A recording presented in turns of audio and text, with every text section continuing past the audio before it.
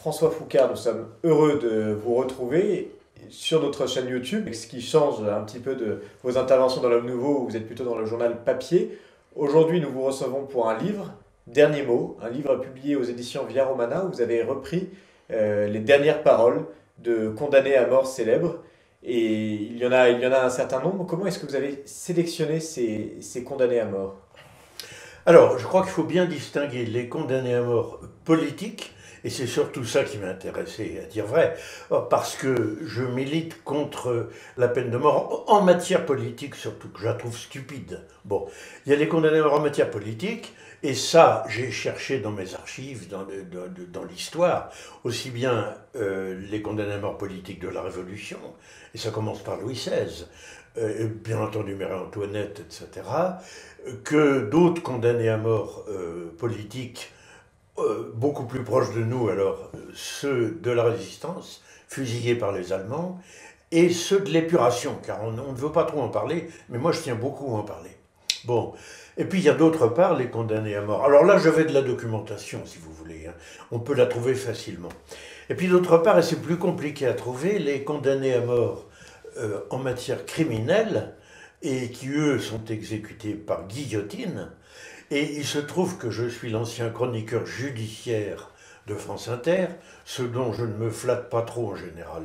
Bon, mais euh, d'une part, je me suis constitué une bibliothèque très importante sur les, crimes de droit commun et d'autre part sur les exécutions, puisque je suis même un des rares, euh, presque un des seuls journalistes à avoir été jusqu'à rencontrer le, bourreau, l'exécuteur en chef.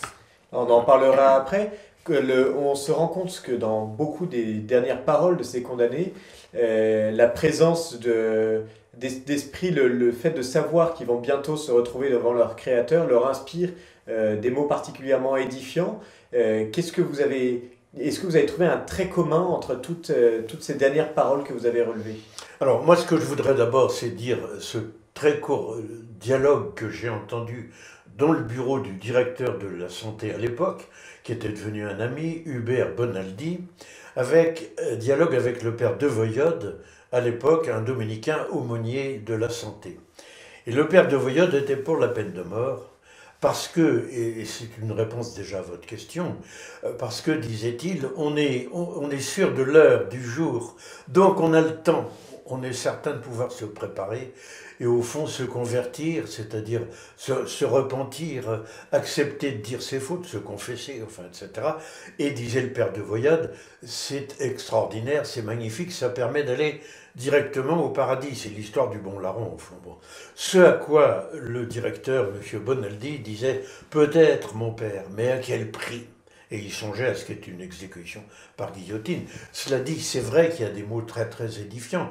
Je crois que ceux que nous connaissons le plus, ce sont ceux de Jacques Fesch. Et justement, euh, de Jacques Fesch, est-ce que dans, dans tous ces, ces, ces condamnés, euh, est-ce qu'il y en a un, un tableau particulier, un, portrait particulier qui vous a marqué quand vous avez euh, fait vos recherches et écrit sur, euh, sur les dernières paroles de, ce condamné Alors, c'est probablement à nouveau Jacques Fesch, parce que j'ai beaucoup étudié son cas. J'ai approché son fils inconnu qui, qui m'avait contacté et qui porte maintenant, qui est tenu à porter le nom de son père, Fesch. Bon, donc c'est très impressionnant parce que ce qu'écrit Jacques Fesch est magnifique.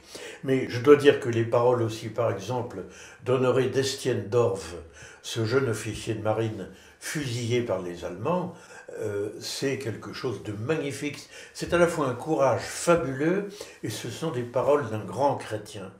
Euh, il ne faut pas oublier que Destienne se place devant le peloton et il demande à parler à l'officier allemand qui commande ce peloton, qui va l'exécuter dans la minute. Et il dit, Monsieur, vous êtes officiellement, vous avez fait votre devoir. Je suis officier français, j'ai fait le mien aussi. Permettez-moi de vous serrer la main. Et l'officier allemand, très ému, lui a évidemment serré la main. Enfin. Alors, il y a quelques exécutions comme ça contemporaines. Il y a aussi d'autres souvenirs extraordinaires. C'est par exemple euh, Cadoudal, euh, conduit à la guillotine et récitant Notre Père avec l'aumônier, puis il s'arrête à un moment. Euh, alors l'aumônier lui dit Mais continuez, continuez. Et Cadoudal dit Oh, mais c'est pas la peine, je suis arrivé à la fin du Notre Père, et à l'heure de notre mort, eh bien mon Père, nous y sommes. Et alors justement, on parlait de Cadoudal. Euh, quels sont les, les, condamnés qui ne sont pas présents et que vous auriez voulu rajouter dans ce, dans ce manuel? Alors il y en a pas mal, parce qu'il y a un historien connu, mais qui m'a fait défaut, euh, qui devait faire toute la partie chouannerie. Euh, mais il y, en a, y en a beaucoup, j'aurais voulu parler de, de, de Charette, j'aurais voulu parler d'autres chefs chouans moins connus peut-être, mais qui ont eu des attitudes admirables. Et puis dans les contemporains, j'ai parlé de l'épuration. J'ai pas dit, on me l'a déjà reproché des les premiers lecteurs, pas reproché, mais on m'a dit vous auriez dû assister plus. J'aurais dû parler des dernières paroles de Pucheux, Pierre Pucheux, qui avait été ministre euh, sous euh, le gouvernement du maréchal Pétain, bon, qui a décidé de rejoindre Alger, où se trouvaient De Gaulle et Giraud. On lui avait promis que non seulement il aurait la vie sauve, enfin, mais qu'il serait incorporé dans l'armée, qui allait être l'armée d'Afrique, qui allait débarquer euh, en, France quelques années après. On peut dire qu'il a été littéralement trahi, puisque Pierre Pucheux a été jeté en prison, euh, condamné à mort par un tribunal où il y avait entre autres parmi les jurés un général euh, dont on peut dire le nom maintenant, tout ça c'est le passé, le, général Gelé, qui était membre du Parti communiste. Pour juger euh, Pucheux, qui était comme ministre, qui avait eu la, tâche impossible, mais que faire, de désigner la liste des otages qui a ensuite allé être fusillés par les Allemands à Châteaubriand. Et alors les condamnés sont bien sûr présents et une autre figure sort particulièrement de votre livre, c'est la figure du bourreau. Vous dites justement que vous avez rencontré un bourreau. Et quelle est votre approche justement de, ce personnage si emblématique qu'est le bourreau? Alors le bourreau est par nature un personnage fascinant. Enfin, il y a eu des gens.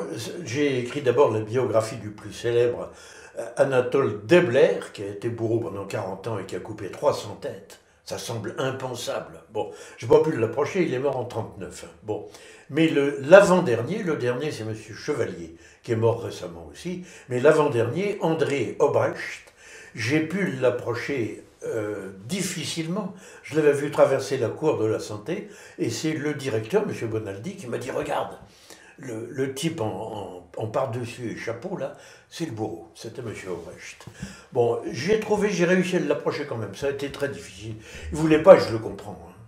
Et finalement, il souhaitait avoir une attitude extrêmement digne et réservée, disant J'ai pas à faire de commentaires sur ce que je fais, mais j'estime que j'ai une charge de l'État, une charge très lourde et difficile, mais qui est dans nos familles, puisqu'on se mariait entre familles de bourreaux, qui est dans nos familles depuis très longtemps.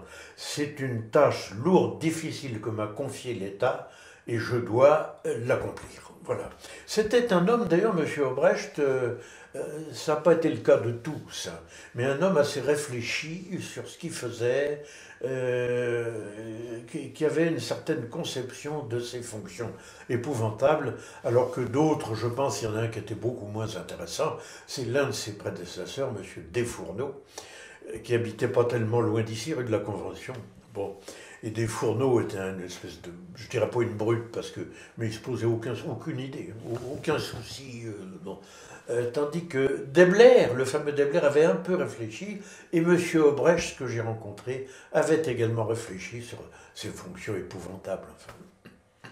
Merci beaucoup François Foucard. Donc on rappelle que on retrouve votre livre Dernier mot aux éditions Via Romana, et donc c'est préfacé par euh, Michel de Gégère. Merci.